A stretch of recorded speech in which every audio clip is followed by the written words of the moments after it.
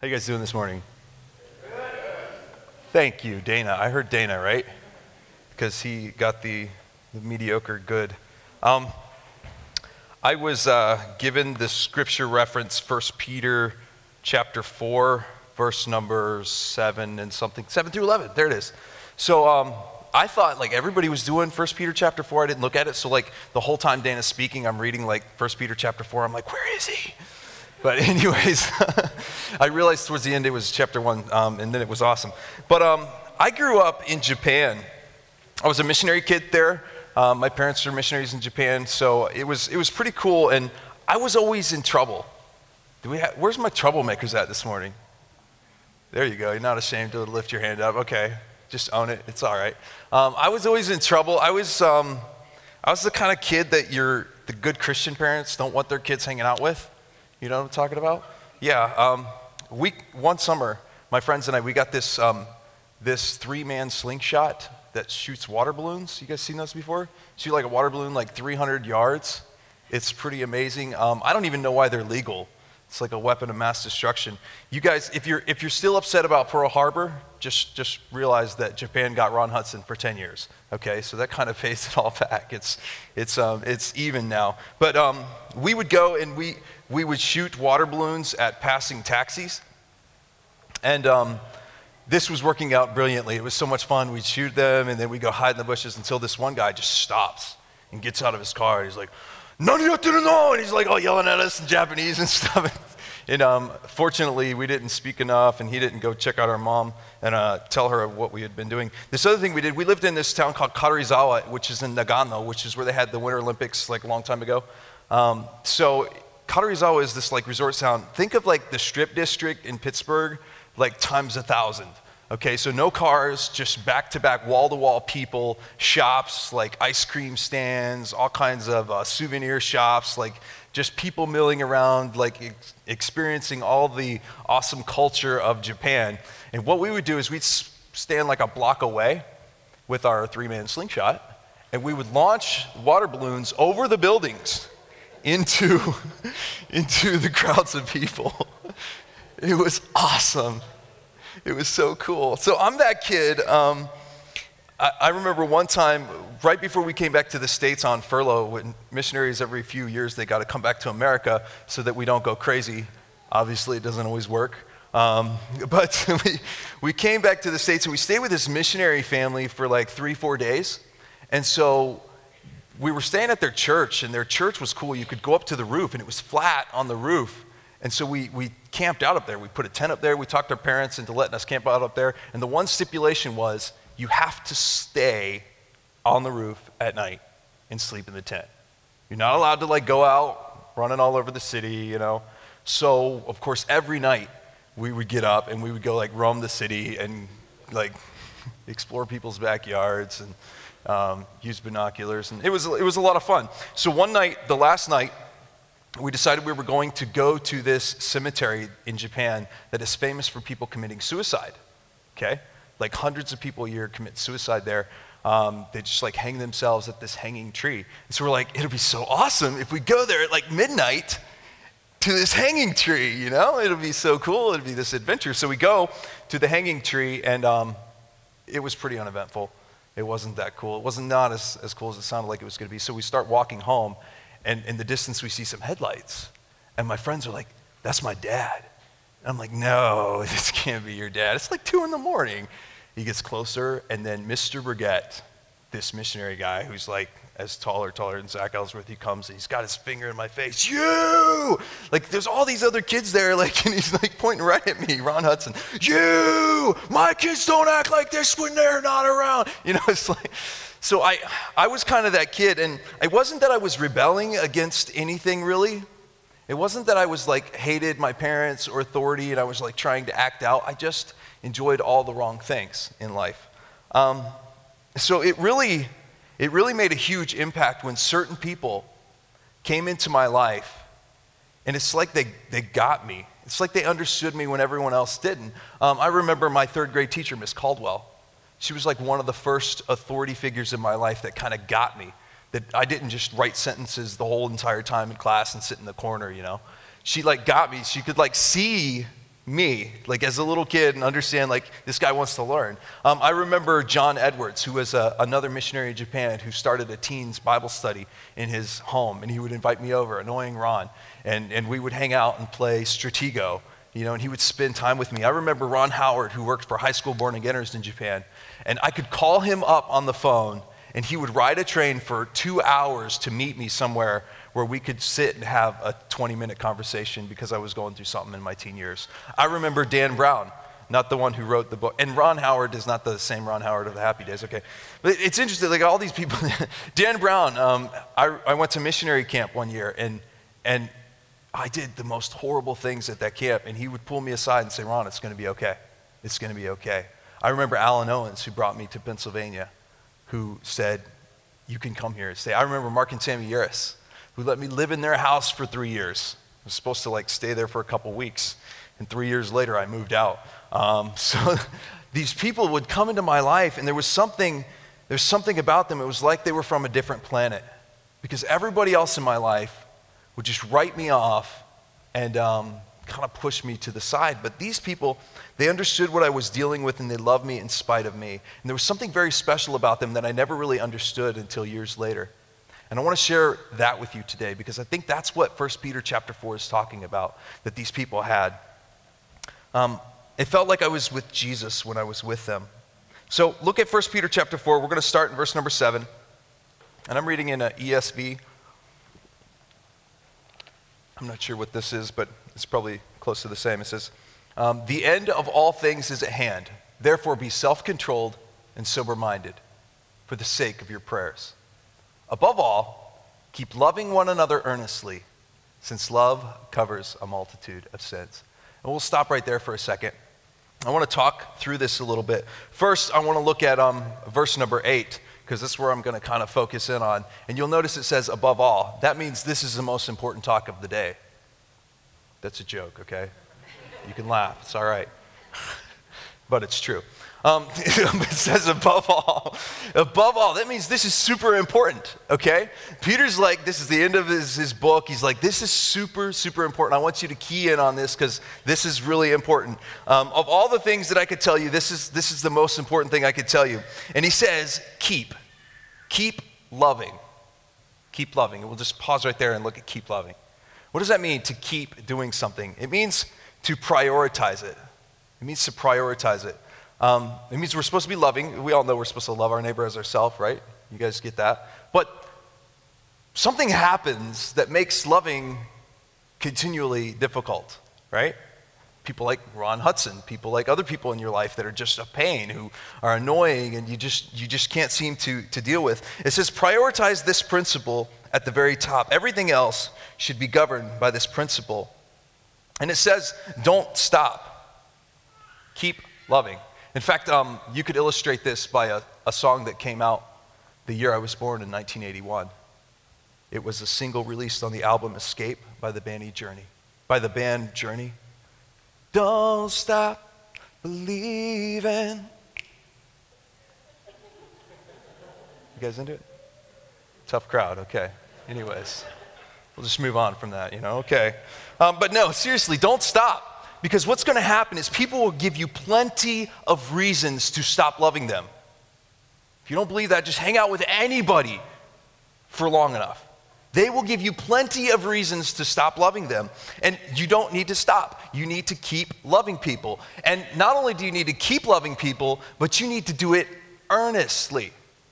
That means you got to push. That means it's going to be difficult. That means you're going to have to push through some pain and some suffering. And what happens is when someone acts unlovable, we pull back.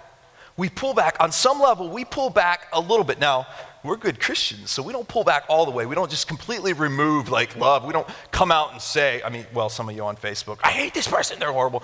Okay, that's another thing. But most of us, most of us will just pull back a little bit to where we're loving them internally but it's not messy, okay? It's, I'm loving them internally, but I, it's not really affecting me. It's not really hurting me. It's not earnest. Okay, I'm keeping it, like I'm still in there. I'm still got the love going on, but it's not, it's not hurting me. For instance, the guy that smells in church, okay? Um, instead of giving him a big hug like you would other people, You end up, hey, how you doing? You give the wave, you know. God bless you, good to see you, you know. How about uh, the person who always asks you for money? So instead of saying no, instead of having healthy boundaries in your life and saying, no, I'm not going to help you with money, to avoid the conversation, you just don't talk to them. You just don't talk to them. What about the person in your life that has the craziest stuff going on? They have drama, they have hurt, they have pain, they have sickness, they have death, they have all kinds of stuff going on, so much so that it's just emotionally overwhelming to be around them right? And you don't have any answers. Like you look for scripture, like, I want to share this with you and make you feel better. None of it works. It, you have no answers to help this person. And it's just so emotionally taxing to be around them that what you do, instead of calling them up to say, How are you doing? Let's get some coffee. You just say, I'll pray for them during my devotions. Because you don't want to go the full step of loving them earnestly. That's what we do. We pull back a little bit. I'm still loving them like they're on my list, yo, right there. Pray for them right after I pray for Aunt Bertha's like mole, you know? It's right there on the list. But we don't engage with them. We don't put a lot of effort into it. What about the person that betrayed you? The backstabbing scum? Yes. You just got a face, right? what about the person that betrayed you? No way am I going to care about them. What will people think? What will people think if they see me hugging my gay neighbor in the driveway because he told me his mom died and he asked me to pray for him? What will that say about me? What will people think? So we pull back a little bit and, and love at a healthy Christian distance. And that's not earnest. There's nothing earnest about that. I don't even know if that's still loving. Maybe a technicality, but it's certainly not the full brunt of verse 8. Keep loving one another earnestly. And the thing is, why would we do this? Why would we do this? Oh, sure, it's in the Bible, so yeah, we got to do that. Great job with your Christian school answer. Um, but I like to know a little bit of why God is, is asking us to do things. And he says, he says, because love covers a multitude of sins. Since love covers a multitude of sins. Above all, most important thing, keep loving one another earnestly, like work hard at it, because love covers a multitude of sins. Isn't that great? No. I know what you're thinking. It's not great. I don't want love to cover their sins. I want them to pay because they stab me in the back, because they smell bad, because they have all these issues and they kind of deserve to not be loved. I certainly don't want to just cover over whatever they've done and what's going on in their life. Like this person has used me, this person has abused me. There's all kinds of issues, there's all kinds of reasons. Remember, there's reasons why we stop loving people, legitimate reasons. So, is this a really good answer? We don't want any cover ups. I want to take you to verse number 10. If we could scroll ahead to verse number 10 magically, that would be awesome. Um, verse number 10 of 1 Peter chapter 4, it says, As each has received a gift, use it to serve one another as good stewards of God's varied grace. And I'm going to get back to the whole cover up thing, but you got to understand this first. You got to understand that we are stewards of God's grace. The people who kept loving me when I was unlovable, when I was doing all the things I'm not supposed to do, when I was a bad influence on people, the people who kept loving me through those moments were stewards of God's grace. They loved me earnestly and they understood this principle. You see, God has made a deposit of his varied grace into you. Every single one of you.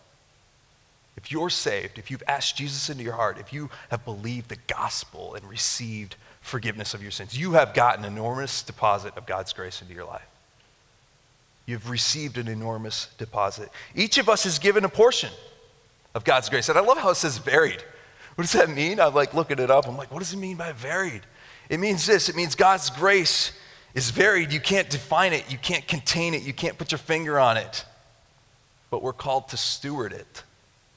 We are called to steward God's grace. What does that mean? Well, first off, unless you're a police officer working for the government, as Dana told us in the last time, we're stewards of God's grace, not God's wrath. That's kind of controversial sometimes, right? Like right there in 1 Peter is telling me I'm a steward of God's grace when a lot of times I'd rather be a steward of God's wrath. I'd rather tell people what I really think God should tell them and yell at them and when I'm called to steward God's grace. Unless you're a police officer, we're supposed to steward God's grace, and many of us would rather steward the wrath. You're a steward of God's grace. So I got to ask you this morning what are you doing with the deposit you've been given? What are you doing with the deposit of God's grace that you have been given? Let's step back and look at that phrase back in um, verse number 7. It says, Love covers. Right here. Love covers. What does that mean? What does that mean? Love covers. I've wrestled with this a lot, you know, because there's a lot of other pastors listening. You can't really say it wrong, they're going to judge you and stuff. But I, I thought back to this thing that happened at church. My youth group is a, is a bunch of misfit unlovables, I gotta tell you. We, um, I live right across the street from Pershing Court, okay? I know, right? Um, so we pick up students in Pershing Court. We pick up students in Tuskegee, which is the projects right behind us. We go to Bearwood. We go to about five different places all over the east end of town. We pick them up on our bus and they are they're wild they're wild okay and one night i think it was a saturday night after we had a service um, two of my students were fighting in the hallway and one of the girls like ran it was a girl and a guy and they ran, the girl ran into the office and like tried to pull the glass door of the office shut you know so the guy comes running after her um, and like grabs the door and she like slams it back on him Okay? So they're fighting between this glass door. What could go wrong, right? So she slams it back in his face and he puts up his hands to block it and the door spiders. Now, I had those like metal things in it, which are cool, so it didn't like shatter all over the place and cut people all to pieces, um, which I'm thankful for because that would have been a whole issue with parents. But so it's like spider web of glass, you know? And so I come in, we're like, it was like two minutes before we're getting on the bus. This door, I'm like, we almost made it all night. You know? And so I look at this door and I'm like, what am I going to do now? And so the kid who broke it, he just like goes storming out. He's, he's like, they're never going to. I could see on his face like what he's thinking. I'm never coming back here. I'm in so much trouble. So I go out in the parking lot and I grab him by the shoulders and he's just like, I'm sorry, man. I'm sorry. You know, I, I know I'm, I know I'm in trouble. I know I'm in trouble. He's trying to make all the kind of excuses and everything. And um, I just grab him by the shoulder and say, dude, I love you. You are worth more than a hundred glass doors. So then he gets on the bus and goes home. The next morning, I come into church, Sunday morning. It's right there by the front door. Big broken glass door, you know. And I know people are going to come in, and not that people in our church hate my students, but you're always going to have that, right? They're unlovable. That's why the Bible is commanding us to keep loving because they're going to do stuff that's unlovable. And so I know, like, all the members are going to come in, they're going to see this broken door and be like, there they go again, you know, those teens, those rotten, you know, miscreants or whatever. And so I'm like, what do I do? You know, this is, this is a mess. Like, they're all going to be pointing their finger at this one kid, and he doesn't need that. He doesn't need that. So I got a Sharpie, and I went over to the door and I wrote in big letters, Ron Hudson. Cross the cracks. Just left it at that. So everybody comes in. Oh, Ron, what'd you do to the door? You know, what's going on, man? Oh, way to go, Ron. You know, I just let it go. Just let it go. And we led worship. And then at some point during worship, I told them what was going on. I said, the door was broken. And I didn't do it. but you all thought I did because I wrote my name on it. And it said, The truth is that we're all broken. Every single one of us are broken. I'm a broken person, you're a broken person. And Jesus Christ came into your life and wrote his name all over your brokenness. That's what he did on the cross. He's, he's hanging there with his name all over Ron Hudson's sin, all over your sin. That's what he did. He wrote his name with his blood. Love, love covered your sin when Jesus wrote his name all over it with his own blood. Isn't that grace? Isn't that exactly what grace is? He like he took like took responsibility for what I did when he was pure. He didn't even have a guarantee that I would accept him. And he still said, I'll do it. I'll do it for you. That's the very definition of grace God's unmerited favor, his extravagant love lavished on unlovable and broken people. Now, you probably haven't taken very many notes because I don't speak in a cool outline format. But I want you to write this down. One thing. Here's the point cultivate love by investing grace. Cultivate love by investing grace.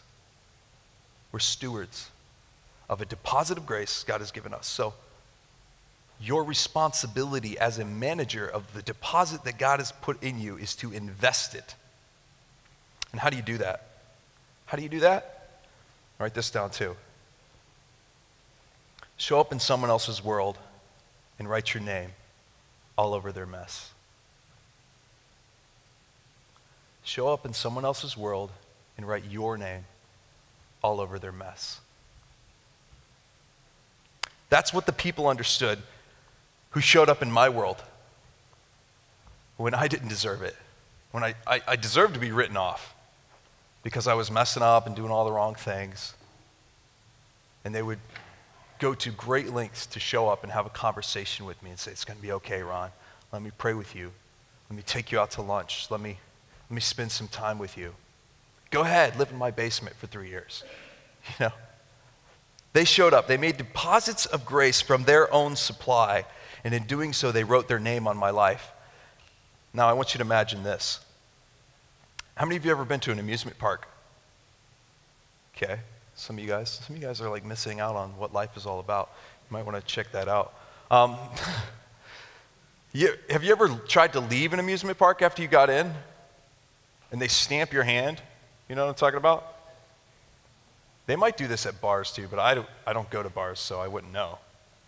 This is me judging you. Um, so they stamp your hand. I remember this as a kid, and I put the stamp on. I'm like, "You didn't. It didn't work, bro. You need to like do another one because I don't see anything." He's like, "No, no, no. There's a cool light." And I'm like, "Whatever." and so he's like, "Here," and I put my hand under, and then I see this like thing light up on my hand. You know, like Kennywood or you know Cedar Point or Six Flags or whatever it was. And, and I think about that, and I wonder when we get to heaven and we stand before God, and He judges our life when I stand before him in his presence, in his light, I can imagine that I'm going to have written on me Jonathan Edwards, Dan Brown, Mark Harris, Alan Owens. It's going to be clear as day, their signature on my life. Because they invested the deposit of grace that God had put in them into me. So everything I do all of the nights that I hang out with teenagers and the I show up because the cops arrested one of my students at school. All the stuff that I do to invest in students' lives is part of their account because they invested in me. They invested in me.